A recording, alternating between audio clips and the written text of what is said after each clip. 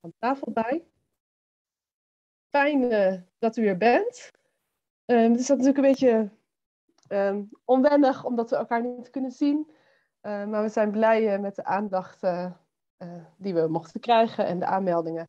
En welkom. De komende uren willen we luisteren naar een lezing van Ashwin Drost, die ongeveer 20 tot 25 minuten zal duren, over uh, nou, de verbinding tussen Gelderland en uh, Zuid-Afrika. Mijn naam is Else Gootjes, ik ben projectleider van het project Spoor van Slavernijverleden Gelderland. Um, en we doen nu al een jaar of twee uh, met een groep onderzoekers, nazaten, onderzoek naar dit verleden en ook um, ja, naar de relatie natuurlijk tussen Gelderland en ja, daarin is Zuid-Afrika toch ook wel een, ja, een bijzonder verhaal achter. En daar willen we vandaag uh, de aandacht uh, op, op, ja, leggen. En trouwens over twee weken ook nog een keer, want het is een serie van twee, een reeks van twee lunchlezingen. Die we samen met het Afrika Museum, maar ook het Research Center for Material Culture, dat verbonden is aan de Wereldmusea, georganiseerd wordt. Um, ik neem u even mee naar het programma van het komende uur. Um, even kijken of alles werkt. Ja. En mijn tip is alvast om even, als u de spreker alleen wil zien, en wij zullen zoveel mogelijk ons beeld uitzetten alsgene die uh, organiseren, zodat u echt de spreker alleen ziet. Maar als u even op het tweede icoontje linksboven uh, klikt bij de gezichten, zeg maar, dan krijgt u echt ook alleen de spreker in beeld programma voor van, uh, vandaag. Nou, zoals ik net zei, Ashwin Drost, historicus en betrokken bij het project Spoor van Slavernijverleden in Gelderland, zal ons meenemen in die vroegste jaren van de koloniale van Tafelbaai, waar onder andere drie vrouwen uit Doesburg bij betrokken waren vanwege hun echtgenoten. En een van die echtgenoten was Jan van Riebeek, die daar een prominente rol in speelde. Um, en ook geeft Ashwin ons een inkijk in het leven van ja, tot slaafgemaakte vrouwen. Angela van Magalen en haar dochter Anna de Koning.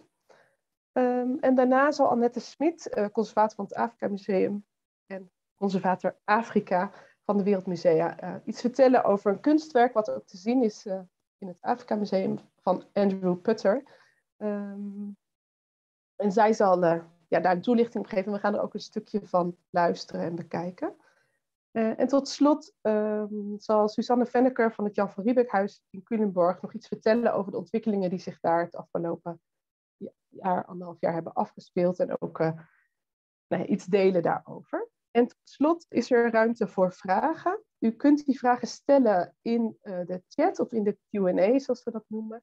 En die zullen door ons opgepikt worden en dan ook nou, aan de sprekers voorgelegd worden. En ik verwacht dat dat ongeveer nou ja, eh, rond tien over één, zo, zoiets, kwart over één zal zijn. Um, en we hopen dan ook echt om half twee af te sluiten, zodat het ook echt een lunchlezing blijft en u dan weer verder kan met uw eigen werkzaamheden of dingen waar u mee bezig bent.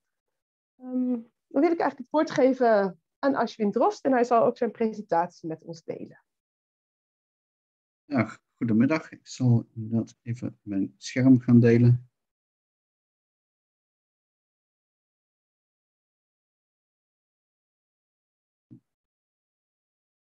En vanuit, het, uh, vanuit de projectgroep uh, Sporen van slavernijverleden in Gelderland mag ik inderdaad iets vertellen over de omstandigheden en gebeurtenissen rond de koloniale bezetting van Tafelbaai door de Verenigde Oost-Indische Compagnie, uh, de komst van slaafgemaakten naar Kaap de Goede Hoop en de rol van enkele Gelderlanders hierin. Uh, de VOC-kolonie aan de Kaap is voor veel mensen toch relatief onbekend.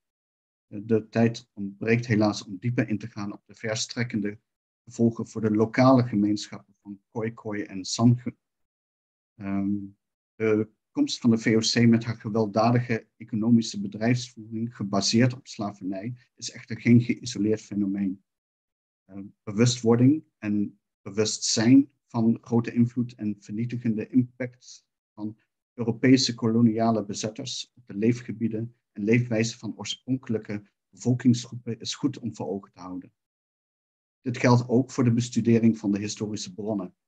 Zo is het vaak nog geldende Europese perspectief en het historische denkkader van de stichting van een verversingspost aan Kaap de Goede Hoop door Jan van Riebeek in 1652 niet alleen een eufemisme voor koloniale bezetting, maar het doet ook geen recht aan de historische continuïteit en de millennia lange rijke geschiedenis van de oorspronkelijke Khoikhoi en San-gemeenschap.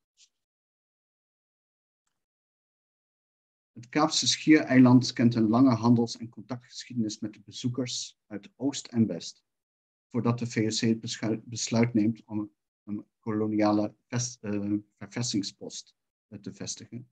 En alleen al in de halve eeuw voor de komst van Van Riebeek, tussen 1600 en 1650, gebruiken meer dan duizend schepen en ongeveer 200.000 bezoekers Tafelbaai als pleisterplaats en bevoorradingspost. In de twee decennia voor uh, Van Riebeek was de aanwezigheid van Europeanen eigenlijk al semi-permanent, met vrijwel maandelijks aanmerende schepen. Oud Sumau was de leider van een kleine groep Khoikhoi de oevers van de riviertjes aan Tafelbaai. En hij heeft met de Engelsen door Azië gereisd en onder meer ook um, Java bezocht. Uh, wanneer hij terugkeert uh, aan Tafelbaai, uh, fungeert hij min of meer als havenmeester voor de Engelsen.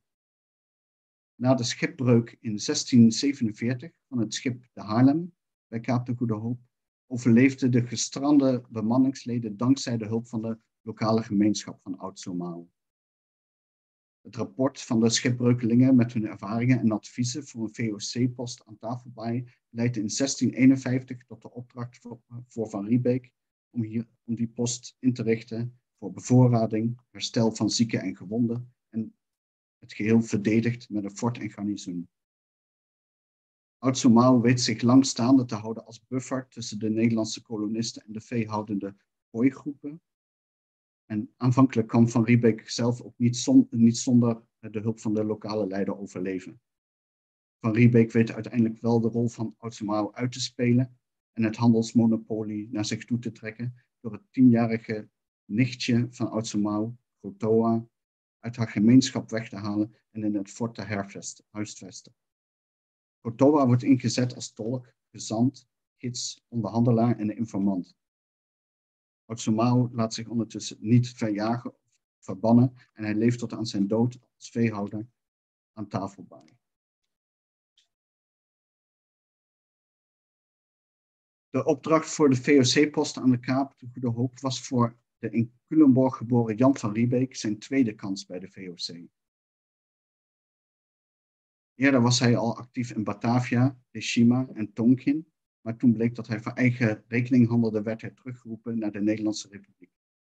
Hij is onderdeel van de retourvloot die de schipbreukelingen aan Tafelbaai oppikt. Terug in Nederland uh, treedt hij in het huwelijk met Maria de la Queillerie en vertrekt twee jaar later met zijn gezin naar Zuidelijk Afrika. Aan de Kaap verzamelt Van Riebeek een keurgroep om zich heen met een opvallend aantal Gelderlanders of echtgenoten van Gelderse vrouwen belangrijke posities. Een jaar na zijn aankomst uh, arriveert Roelof de Man, afkomstig uit een Culemborgse regentenfamilie. Van Riebeek stelt hem aan als boekhouder en enkele jaren later wordt de man bevorderd tot secunde, dat is de tweede in rang. In 1653 arriveert ook Jan van Herwende aan de Kaap. Hij is geboren in Zevenaar en is afkomstig uit een plaatselijke bestuurdersfamilie. Hij heeft uh, eerder gediend in het staatse leger onder prins Frederik Hendrik tijdens de 80-jarige en 30-jarige oorlog. Aan de Kaap wordt hij sergeant en bevelhebber van het garnizoen. Daarnaast heeft hij kennis van landbouw en constructiewerk en hij is eigenlijk de steun en toeverlaat van, van Riebeek bij het opzetten en verdedigen van de VOC. Zijn echtgenoten en stiefdochters, uh, woonachtig in Doesburg, zullen later naar de Kaap de Goede Hoop komen, waar ook de dochters met hoge ambtenaren en invloedrijke mannen trouwen.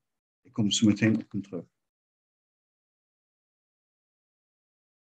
De eerste jaren zijn bijzonder zwaar voor het groepje uh, koloniale bezetters. Niet alleen moet het fort en alle voorzieningen van de grond af opgebouwd worden, de verversingspost dient zelf ververst te worden. Daarnaast moet ook de VOC wennen aan de nieuwe post. Tot 1659 bezocht slechts 64% van de uitgaande schepen uit Nederland en 52% van de, procent van de retourschepen de tafelbaai. Vooral het eiland Sint Helena werd door de VOC-schepen als alternatief gebruikt, totdat de Britten het eiland in 1659 in bezit namen. Op deze manier legden de Britten min of meer de toekomst van de VOC-kolonie aan de kaap vast.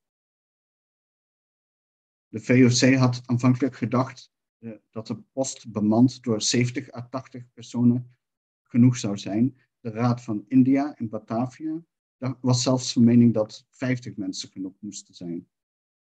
Dit waren geen realistische aantallen die bovendien geen rekening hielden met lokale en internationale omstandigheden, zoals de verschillende zeeoorlogen tussen de Republiek en Engeland. Het gezin van Jan van Herwerde en Jannetje Bodijs, zijn Doesburgse echtgenote, markeert uh, het, een omslagpunt in de ontwikkeling van verversingspost naar kolonie. In maart 1656 verlenen de bewindhebbers van de VOC, de heren 17, toestemming aan Jannetje Bodijs om haar echtgenoot naar de Kaap te volgen. Zij vertrekt met haar oudste tienerdochter, Christina Does, uit een eerder huwelijk, naar de Kaap. Zij is hiermee de eerste vrouw die op deze wijze haar echtgenoot achterna komt. De enkele aanwezige vrouwen eh, in de kleine bezettingspost, zoals de echtgenoten van Van Riebeek, eh, waren al eerder met de eerste schepen als gezin overgekomen. Eh, de jongste dochter van Jannetje, Petronella, blijft vooralsnog achter in Doesburg. Jannetje zelf krijgt toestemming om een herberg te beginnen en mocht met haar echtgenoot ook varkens houden en een stuk land achter het fort beplanten met groenten. Hiermee bouwt het Zevenaars Doesburgse gezin als kolonisten letterlijk aan het ontstaan van een vrijburger nederzetting buiten het fort, die zou uitgroeien tot de stad Kaapstad. Uh, dochter Christina trouwt in 1658 met de welvarende vrijburger Elbert Diemer. En later dit jaar krijgt ook de jongste dochter, Petronella, toestemming om naar de Kaap te komen voor een gearrangeerd huwelijk. Zij trouwt met de fiscaal en latere secunde Abraham Gabala. Het gezin van Jan en Jannetje is voorloper en prototype van de vrijburgerboeren die de volgende jaren toestemming krijgen om zich als pachters in de Liesbeekvallei te vestigen. Met de komst van de koloniale immigranten wordt de vervestingspost een kolonie.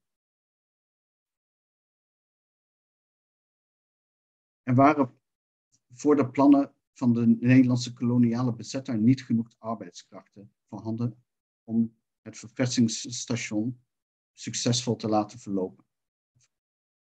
Slechts enkele weken na zijn arriveren um, vraagt uh, Van Riebeck al uh, aan de heren 17 om tot slaafgemaakte mensen te mogen importeren. Dit wordt hem aanvankelijk verboden. Toch bereiken in de eerste bezettingsjaren ruim 20 tot slaafgemaakte mensen tafelbaai, vaak met de retourschepen van de VOC onderweg naar de Republiek.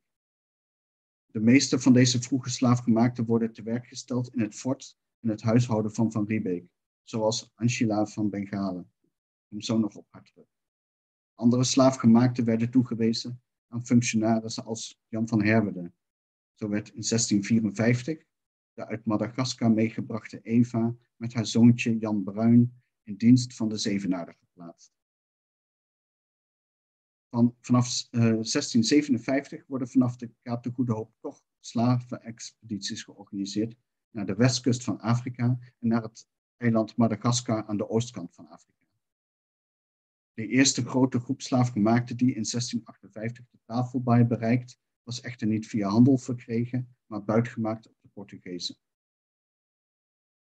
De meeste buitgemaakte en aangekochte tot slaafgemaakte mensen moesten van de bewindhebbers worden doorgestuurd naar Batavia. Dus de groep slaafgemaakte aan de Kaap blijft aanvankelijk klein. Na 1658 uh, richtten de slavenexpedities vanaf de Kaap zich voornamelijk op Madagaskar. Er zouden in de 17e eeuw twaalf officiële expedities naar het eiland uitvaren, waarbij ruim duizend slaafgemaakten naar de tafelbaai worden Daarnaast bereikten nog honderden slaafgemaakten via private transacties de Kaap.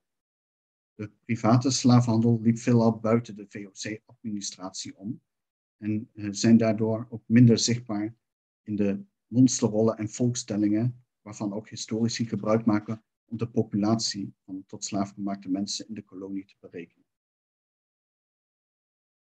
De slaafgemaakten in bezit van de VOC werden voornamelijk voor de uh, Kaapse compagnie uh, prioriteiten gebruikt. Um, allereerst in de compagnietuinen voor de uh, voorziening van voedsel. In 1708 waren hiervoor blijkbaar altijd nog 72 tot slaafgemaakte mensen nodig. De compagnieslaven werden, in eerst, werden eerst in het fort ondergebracht en later in een gebouw bij de compagnietuin. Dit uh, onderkomen ontwikkelde zich tot de slavenloge, het gebouw waarin zich tegenwoordig het Itziko Slave Lodge Museum bevindt. De Doesburgse dames vallen in de eerste jaren van de Kaapse slavernij al op door relatief grootschalig slavenbezit. De monsterrol van 1664 eh, vermeldt dat Jannetje Bodijs op dat moment zeven slaafgemaakten bezat en haar dochter Petronella niet minder dan acht mannelijke en vrouwelijke slaafgemaakten en eenzelfde aantal kindslaven. Het feit dat al deze slaafgemaakten worden genoemd als bezit van de echtgenotes van bestuurders lijkt te benadrukken dat het om privé gehouden slaven gaat en niet om slaafgemaakten in dienst van de VOC behorend bij de functie van de echtgenoot. Dan kom ik nu bij uh, vrouwen aan de kaap. Uh, zij vormen een, kleine, uh, een klein aantal in de Kaapse VOC-post, maar wel, zijn wel onderdeel van, van de koloniale economie.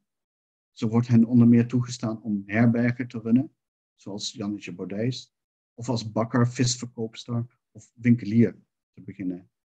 Kaapse weduwen gingen ook zelf boeren.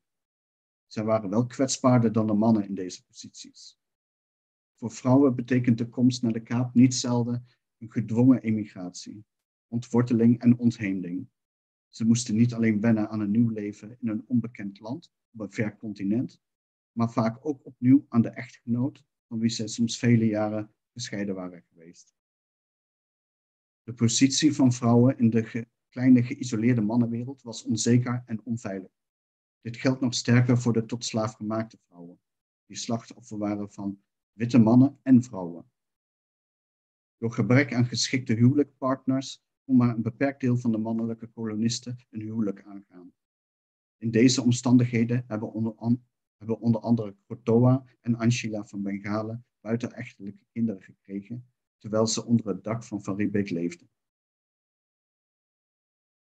Het is niet altijd makkelijk de levens van de vrouwen, slaafgemaakten en mensen uit lokale gemeenschappen te achterhalen.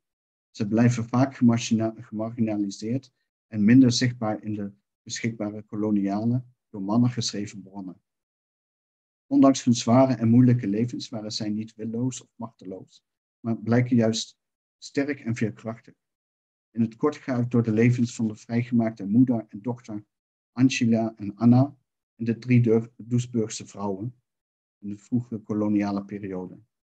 Over Krotoa zal hierna Annette Smit nog wat vertellen en laten zien.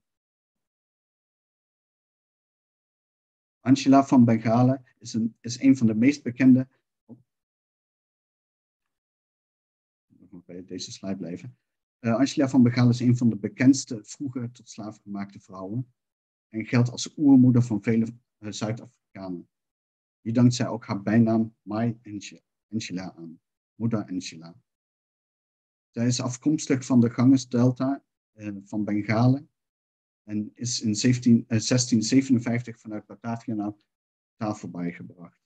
Hier is zij verkocht aan Jan van Riebeek, die haar als persoonlijke huisslavin hield. Onder het dak van de commandeur krijgt zij een dochter, Anna de Koning.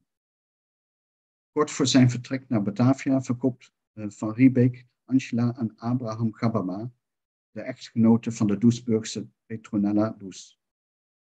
In hun huishouden kreeg zij nog twee zoontjes, Jacobus en Johannes van As.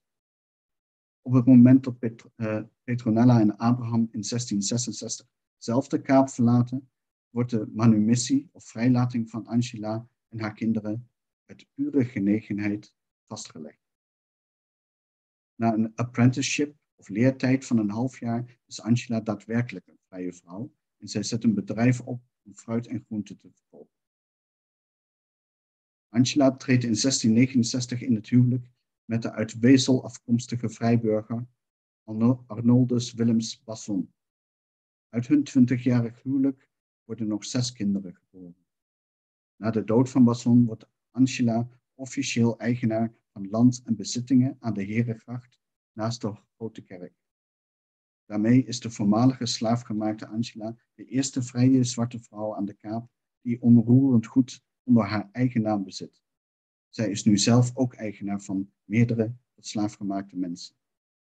Bij haar overlijden in 1720 is Angela een welgestelde en gerespecteerde vrouw in de koloniale gemeenschap. Anna de Koning is in Ketenen geboren, zoals dat heet. Geboren in het huishouden van Jan van Riebeek. Haar waarschijnlijke vader is François de Koning, een compagniedienaar afkomstig uit Gent, België. Anna wordt gelijktijdig met haar moeder op 13 april 1666 vrijgemaakt. In 1678 treedt Anna in het huwelijk met de Zweed Olof Berg. In hun ruim 40-jarige huwelijk krijgen Anna en Olof 12 kinderen. In 1712 koopt Olof Berg de wijnboerderij Groot Constantia als woonhuis voor Anna en hemzelf. Na zijn overlijden in 1724 wordt Anna eigenaresse van Groot Constantia. Zij is op dat moment een van de rijkste weduwen aan de Kaap en bezit als voormalig slaafgemaakte nu zelf een groot aantal slaafgemaakten.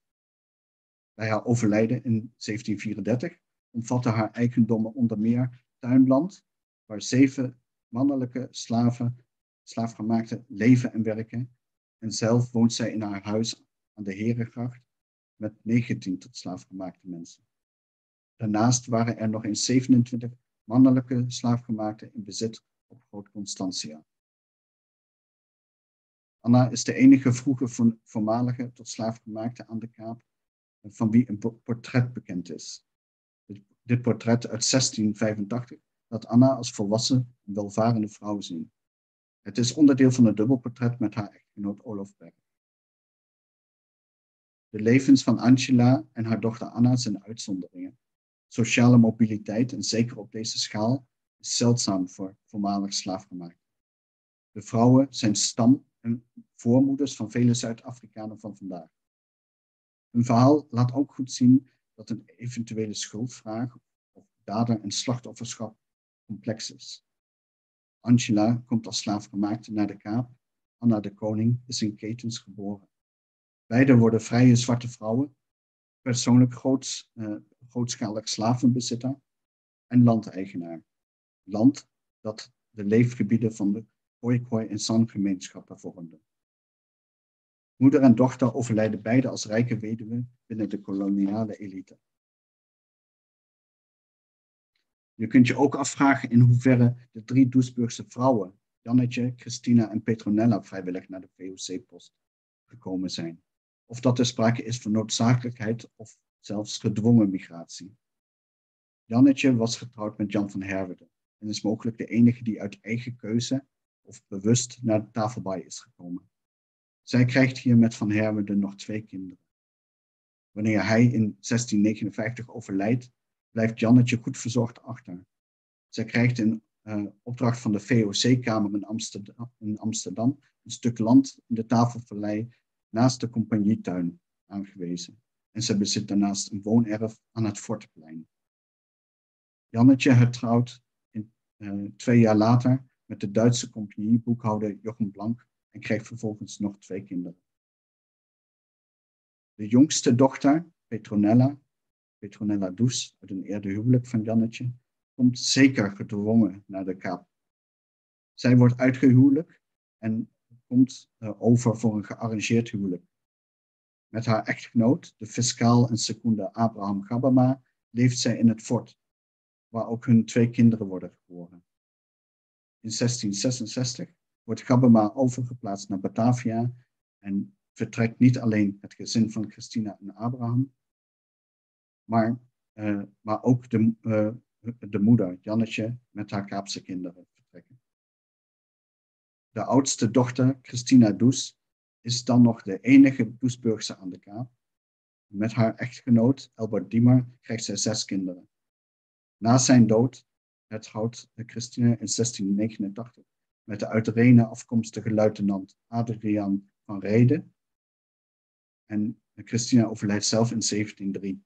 Haar boedelinventaris laat zien dat ze bijzonder welgesteld is geweest met meerdere bezittingen in de nederzetting en in de tafelvallei.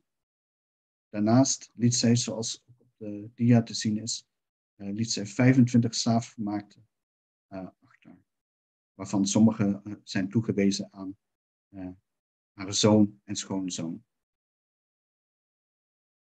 Zowel Christina, Angela en Anna zijn sterke vrouwen die zich persoonlijk weten te profileren. Hun kinderen en kleinkinderen spelen rollen van betekenis als bestuurders in dienst van de VOC of als welvarende onafhankelijke vrijburgers. Op het moment dat de drie vrouwen overlijden, we zijn dan al in de 18e eeuw, uh, heeft de Kaapkolonie min of meer een vaste vorm gekregen. En zijn de oorspronkelijke bewoners, de Kooi- en San-groepen, grotendeels verdreven, verdreven van het Schiereiland en uit de regio. En is een koloniale uh, slavernijmaatschappij aan tafel bij een feit. Met deze lezing heb ik iets willen laten zien van de verwevenheid en complexiteit van de Kaapse koloniale wereld en de slavernijmaatschappij. De meervoudige verbondenheid geldt ook voor relationele banden en sociale mobiliteit van de behandelde mannen en vrouwen. Arm wordt rijk, slaafgemaakt wordt slavenhouder, bezitloze wordt bezitter en bezetter. Uh, mij past hierin wel bescheidenheid. Ja, hier spreekt toch weer een witte man, al wil ik mij nog niet oud noemen. Als onderzoeker binnen het slavernijproject van Erfgoed Gelderland leer ik nog iedere dag bij over bewustwording en eh, veranderende en gecorrigeerde denkkaders. Meer en andere perspectieven. En specifiek voor de koloniale geschiedenis van Zuidelijk Afrika en de rol van Nederlanders en Gelderlanders hierin, eh, vergeet de verschillende en meervoudige stemmen van de lokale en oorspronkelijke Khoikhoi en San bevolkingsgroepen niet. Ook niet bij dit stuk over het slavernijverleden, waar zij voor een groot deel geen actieve rol hadden en, en buiten staan. Sterker, zij zijn de enige groep in Zuidelijk Afrika die geen mensen in slavernij houdt. De koloniale slavernijmaatschappij ontstond wel in hun leefgebieden, waarvan zij verdreven zijn door het koloniale agressor. Ten slotte wijs ik graag nog op een drietal boeken en enkele websites die uh, een ander perspectief bieden op de geschiedenis van Zuidelijk Afrika tijdens de koloniale bezetting. Zoals het boek van uh, uh, Patrick Tariq Mellet, A Decolonized History of Land, waarin hij een goed startpunt vormt voor het decoloniseren van het historisch denkkader, narratief. Hij is ook de motor achter het uh, Camissa uh, Museum in Kaapstad, het Camissa African Center for Restorative Memory. Anna-Marieke van der Wal uh, is gepromoveerd op Singing of Slavery, Performing the Past, over het voortleven van cultureel geheugen van het slavernijverleden in volks, volkscultuur en muziek van Zuid-Afrikanen van kleur. In Voices of the Sun, uh, interviews uh, verzameld en samengesteld door Willemien Leroux en Alison White, komen voor het eerst de Sun zelf aan het woord over de uitbuiting en marginalisatie door anderen, waaronder ook door andere uh, zwarte bevolkingsgroepen, zoals de Khoikhoi. En dan, voordat ik het woord weer terug aan Else geef, wijs ik nog even op de lunchlezing over twee weken. Uh, waar, um, waar onder meer uh, Karin Zijman zal vertellen over um, de tentoonstelling Undercover of Darkness, uh, die te zien was in het uh, Isiko Slave Lodge Museum en ook online nog te bekijken is. En voor de, uh, verder is er nog de tentoonstelling Heden van het slavernijverleden, dat in het Afrika Museum te zien is tot de zomer, tot deze zomer. En uh, tenslotte uh, verwijs ik u ook graag naar de websites van Mapping Slavery en Mijn Gelderland, waar inmiddels vele sporen van ons onderzoek naar het slavernijverleden in Gelderland te lezen en te bekijken zijn. En rest mij niet meer dan u te bedanken voor de aandacht en het geduld. Geef ik nu het woord terug aan Elsa. Dank u wel.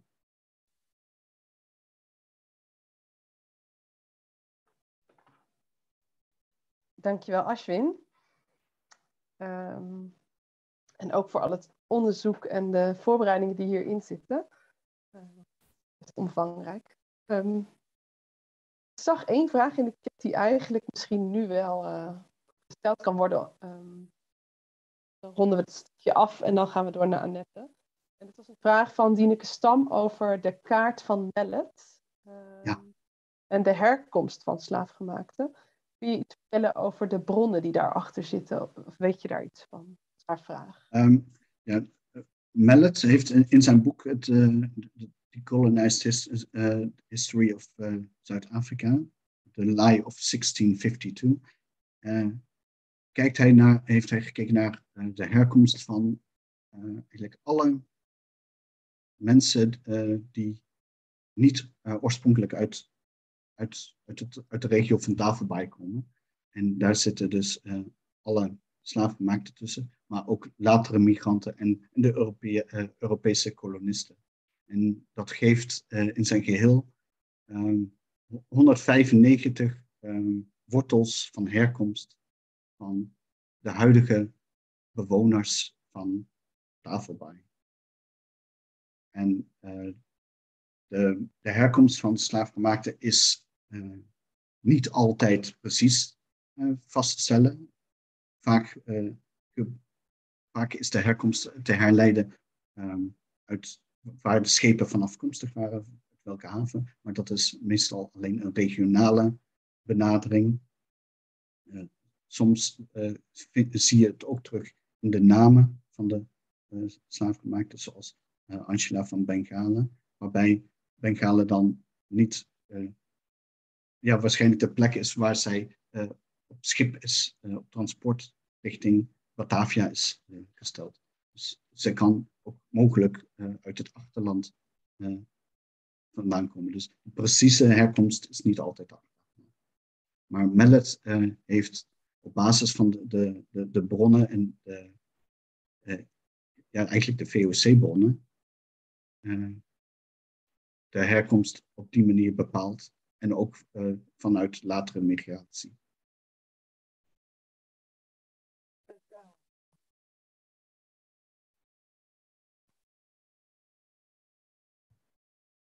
Dankjewel, Ashwin.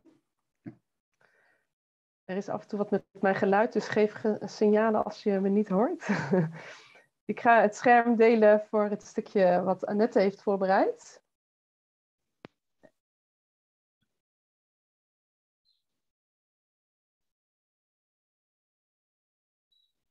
En als het goed is, zie je nu mijn scherm.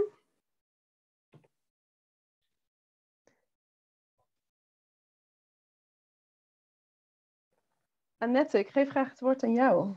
Ja, goedemiddag allemaal. Uh, ik ben Annette Schmid. Ik ben de conservator Afrika van het Nationaal uh, Museum voor Wereldculturen. En vandaag zullen we wat aandacht besteden aan een werk wat in de vaste opstelling van het Afrika Museum te zien is en wat refereert aan de geschiedenis van West-Afrika. Het is gemaakt door Andrew Potter. Elsje, kan je de volgende uh, slide laten zien? Andrew Potter is geboren en getogen in Kaapstad, Zuid-Afrika en is een veelzijdige persoonlijkheid. Het is een kunstenaar, een ontwerper, een performer, een schrijver, een activist en een leraar.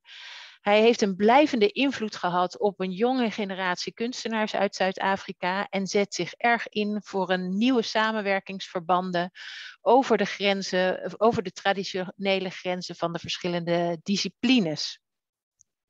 Zijn installatie Secretly I Love You More uh, heeft hij gemaakt in 2007. Het is in 2010 te zien geweest in Museum Volkenkunde. En met, behulp, of met de hulp van François Jansen van Rensburg hebben, heeft het Nationaal Museum voor Wereldculturen het in 2019 kunnen aankopen. En de installatie maakt deel uit van zijn project Hottentotte Holland. Hottentotte is niet een naam die wij nog hanteren.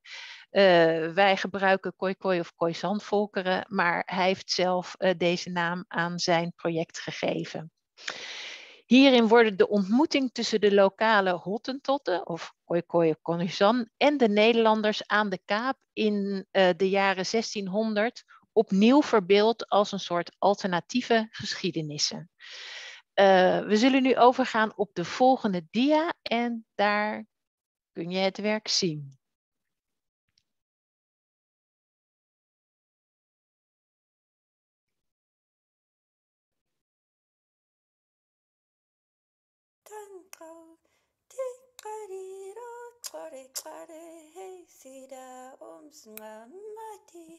Cosas alejana paras kapukatun kaukun. puju para hamsa karasa sibje. Tlati cosesa ašara kom sakai. Para sa sibje rasa kom rakumi sa Sasa tro usji. Ja, dankjewel Else. Maar wat zien we hier eigenlijk? Nou, wat we hier zien is een schilderij, een installatie, een verbeelding uh, van een portret geïnspireerd op de Nederlandse schilderkunst uit de 17e eeuw van de Nederlandse Maria de la. Zoals we net in de vorige lezing al kunnen horen, hebben kunnen horen, is Maria de vrouw van Jan van Riebeek. En hij stichtte in 1652 voor de Verenigde Oost-Indische Compagnie, de VOC, uh, het verversingsstation in Zuid-Afrika, maar in een gebied dat tot dan toe bewoond werd door verschillende Khoikhoi-groepen. Dit verversingsstation met het Fort de Goede Hoop bij Kaap de Goede Hoop zou uiteindelijk uitgroeien tot de Kaapkolonie. Maar in welke taal zingt ze eigenlijk? Maria zingt in dit portret zachtjes een wiegeliedje in het Nama, een Khoikhoi-taal die nu alleen nog wordt gesproken in Namibië en het dichtst in de buurt komt van de taal die de lokale bevolking sprak toen de Nederlanders uh, daar in de 17e eeuw voet aan wal zetten. Maar voor wie zingt Maria dit liedje eigenlijk? Het schilderij refereert aan het verhaal van Maria de Quillerie, vlak na haar, die vlak na haar aankomst in de Kaap een tienjarig kooimeisje, Crotoa genoemd, genaamd, adopteerde. Maria nam haar aan als een dienstmeisje uh, en ze werd opgenomen in het gezin en zij noemde haar Eva. Crotoa leerde de Nederlandse taal en fungeerde als tolk voor Maria, zodat ze met de oorspronkelijke bewoners van het gebied, de Khoisan, kon communiceren. Grotendeels dankzij de hulp van de plaatselijke bevolking en in het bijzonder van Crotoa konden de Nederlanders in deze buitenpost overleven en gedijen. Wat niemand destijds wist, was dat deze buitenpost uiteindelijk zou uitgroeien tot een kolonie van formaat en de plaatselijke Khoisan-volkeren gewelddadig zouden worden onderworpen en grotendeels zouden worden uitgevaagd door de ziektes die de Europeanen met zich meebrachten. Maar hoe liep het eigenlijk met uh, Crotoa af? Nou, Crotoa leidde een best moeizaam leven. Ze werd gescheiden van haar eigen kinderen, werd een verschoppeling in haar eigen gemeenschap en werd later verbannen naar Robbeneiland.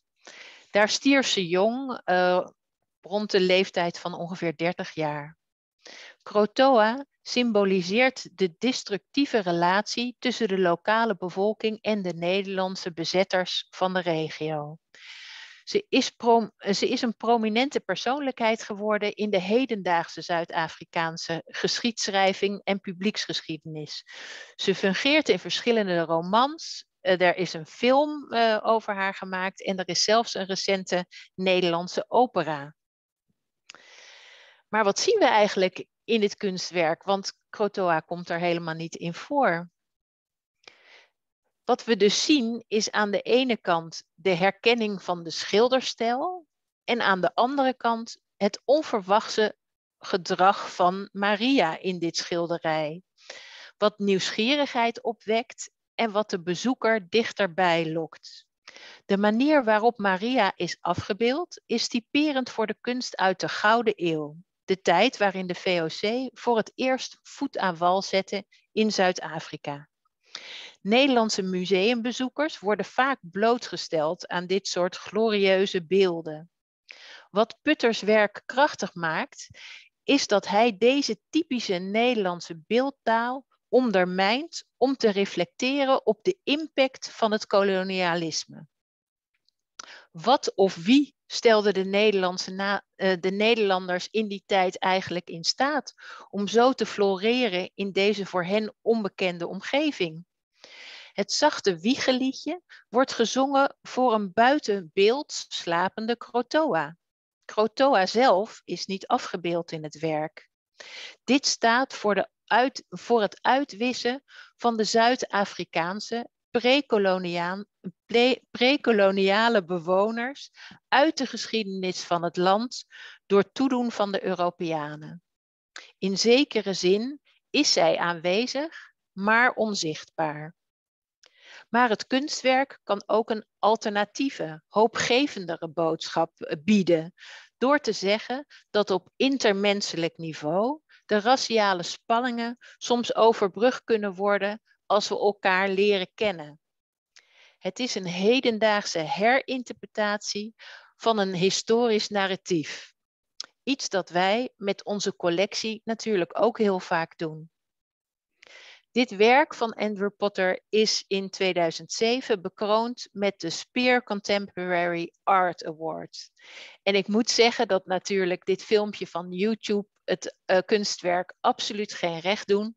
Dus ik hoop dat als de musea weer geopend zijn, u allemaal komt kijken om het in het echt te kunnen zien.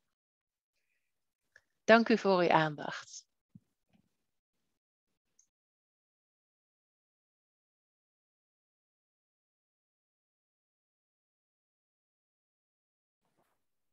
Dankjewel, Annette. Um, ik hoop dat mijn geluid het weer doet. Ja, gelukkig. Um, ook wel weer een, ja, het geeft je even een heel andere blik ook weer, uh, bijna ook achter de schermen van het uh, museum, vond ik zelf. En uh, nou ja, laten we ook een tijdsbeeld zien. Hè? Um, we gaan overstappen naar het volgende museum en ik stop even het delen van het scherm een museum uit Gelderland, het Jan van Riebeekhuis.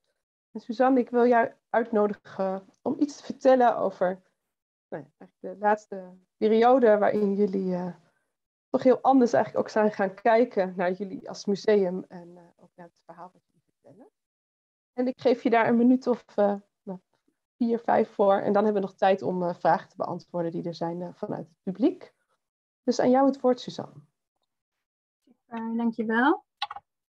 Nou, zoals gezegd, ik ben Suzanne Venneker van het Jan van Riebeek Museum in Culemborg. En jullie zien het museum hier achter mij. Dit is het huis. Het is een 17e eeuws pand wat um, in bezit was van Govert van Gaasbeek. Dat was de opa van Jan.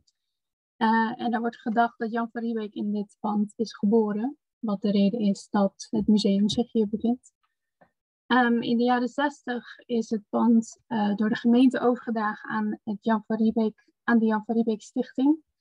En de jaren daarop volgend is het pand helemaal onder handen genomen en gerestaureerd.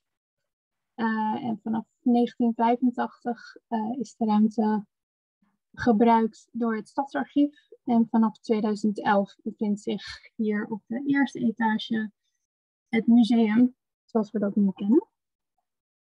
En ik zal inderdaad even kort uitleggen wat wij als museum in het afgelopen jaar allemaal hebben gedaan. En waarom in het afgelopen jaar? Dat is omdat ik uh, vorig jaar februari ben aangenomen, specifiek om de opstelling te moderniseren en naar deze tijd te trekken. Want in de afgelopen tien jaar was het vrijwel niet veranderd.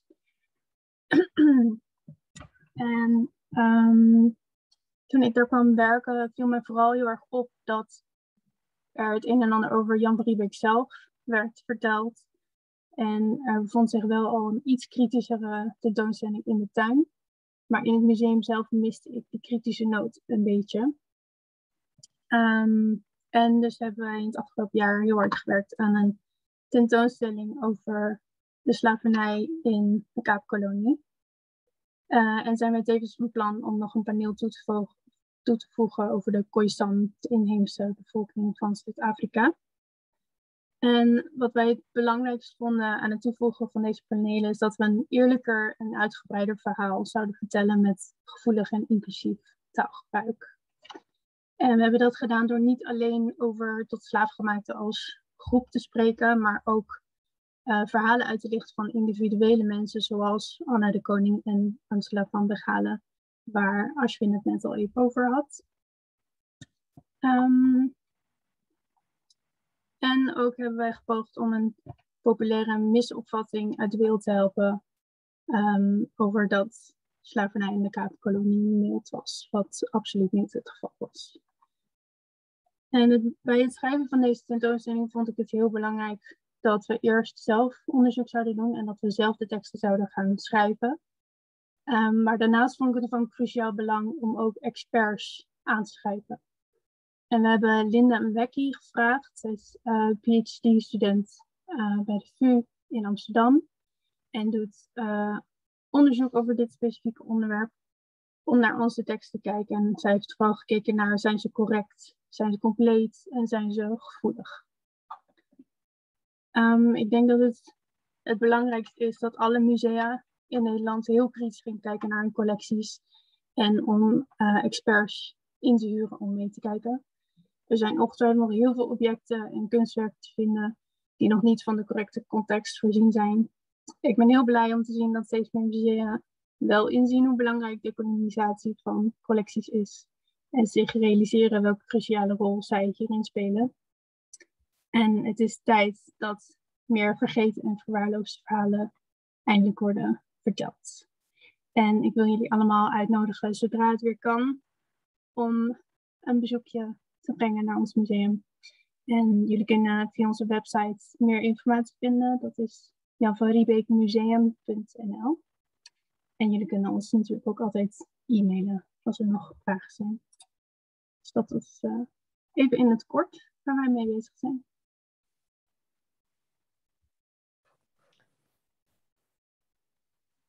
Dankjewel, Suzanne. Ja, ik heb nog wel een, misschien een vraag of een opmerking. Uh, dit proces is niet zonder slag of stoot gegaan. Hè? Jullie zijn ook echt wel. Uh, nou, het, het, heeft een aanloop gehad. En uh, nou, het is ook iets, denk ik, wat nog voor de komende tijd zal, eh, zal spelen. Ehm, kan je misschien iets vertellen over jullie struggelingen of over de dingen waar jullie tegenaan liepen? ja. Nou ja, waar we deels tegenaan liepen is, um, wij zijn allemaal wit. En um, hoe zorg je ervoor dat voor iedereen deze tentoonstelling, deze nieuwe tentoonstelling, uh, gevoelig is en leerzaam is en correct is. Um, dus daarom vonden we het heel belangrijk om ook andere experts aan te schrijven en mensen die hier jaren en jaren onderzoek naar hebben gedaan. En het is ook lastig als een museum al tien jaar lang hetzelfde is geweest om er dan echt een goede frisse wind doorheen te laten waaien. Dat uh, gaat niet zonder schubbelingen natuurlijk, maar we zijn echt al een heel eind en ik ben ontzettend trots met wat we al hebben neer kunnen zetten. En uh, ik ga er vrolijk mee door. Dankjewel.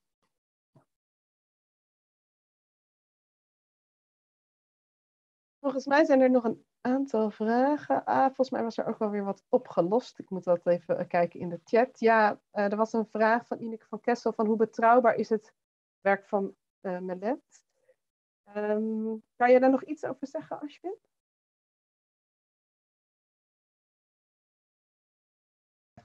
Ja, ik had net al in de Q&A ook geantwoord. En um, ja, het boek van Mellet is net als een ander wetenschappelijk werk geannoteerd en hij gebruikt de, ook de, de, de standaard um, VOC-bronnen, de, de, de, koloniale bronnen.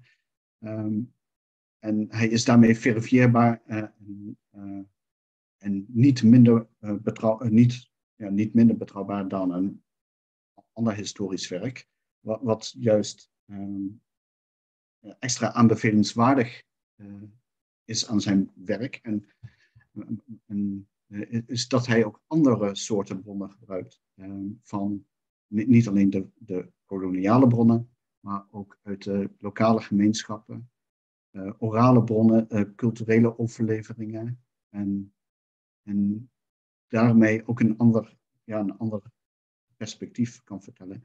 En, en hij bekijkt de koloniale bronnen ook uh, niet uh, op wat er letterlijk staat, maar ook wat kun je eruit halen. Uit, uit, en hij gebruikt veel de, de, woorden van Van Riebeek zelf en andere latere gouverneurs aan de Kaap de, wat de kolonist heeft opgeschreven, daar is ook een, ja, ook een heel ander perspectief uit te halen dan het standaard Of het verhaal dat, dat generaties leidend is geweest. En dat, dat is de grote waarde van zijn boek. Hij geeft zelf ook al aan, dit is niet het eindpunt. Uh, dit is uh, een, een, nieuw begin om de geschiedschrijving ook te decoloniseren. En ja, dat is de waarde van het boek. Ja, ik zie nog dat uh, in de chat dat Ineke van Kessel zegt, ja, ik herinner me een interview in het NRC vol met onjuistheden. Maar goed, um, kunnen we dat nog eens uh, bijhalen. Ja. Um, ik zie verder geen vragen meer. Um, dus ik wil jullie, ik denk dat we nog gaan afronden, tenzij een van de sprekers nog uh, iets wil zeggen of iets wil toevoegen. Uh, misschien Annette of Suzanne nog. Um, of Ashwin. en anders wil ik jullie uh, bedanken voor jullie aandacht en voor jullie tijd. En uh, wil ik jullie natuurlijk ook uh, uitnodigen voor over twee weken. Dan weer dezelfde tijd. half één starten we dan. Kunt je daar ook weer voor aanmelden via de website van het Afrika Museum. En dan zal Ashwin op een latere periode ingaan aan de Kaap. En waar onder andere de, de staring naar voren komt. Ashwin heeft gedaan in het familiearchief ook. Um, en dan zal dus ook, zoals genoemd door Ashwin, uh, Irine Zaaiman uh, ook 20 tot 25 minuten vertellen over haar onderzoek en ook over de tentoonstelling die ze gemaakt heeft. Um, in, um, ik vergeet elke keer de titel van het museum. Ashwin The Cover of Darkness. Ja, ja, ja. In het ja. Isico uh, Slave Lodge Museum.